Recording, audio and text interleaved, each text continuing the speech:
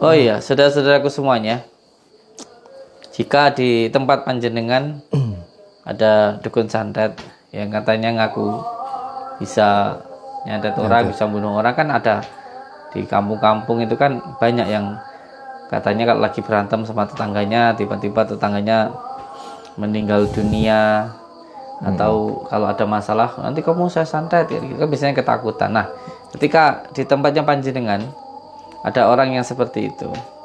Katakan ditantang sama Gus Samsudin.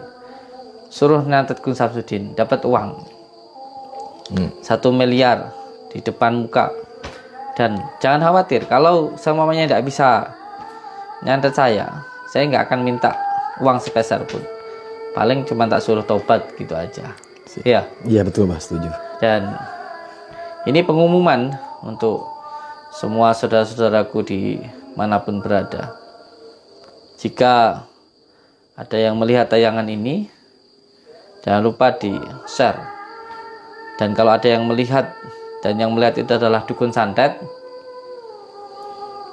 kamu kalau benar-benar bisa nyantet jangan cuman nyantet orang-orang yang tidak berilmu.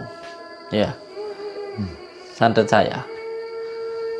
Tanda tangan di atas materai kalau kamu bisa menyantet saya saya kasih uang satu miliar.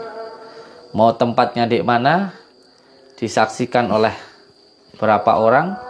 Di tempat keramaian atau di tempat yang sepi? Silahkan tidak apa-apa.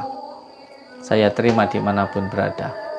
Yang jelas kalau kamu dukun santet ada sayembara untuk kamu para dukun-dukun santet satu miliar bukan tanggung-tanggung uangnya bisa di muka. Ya. Tanda tangan kalau bisa uangnya dibawa pulang. Kalau nggak bisa harus taubat. Ya. Iya. berhenti untuk tidak nyantetin orang lagi. Allahumma sholli ala sayyidina Muhammad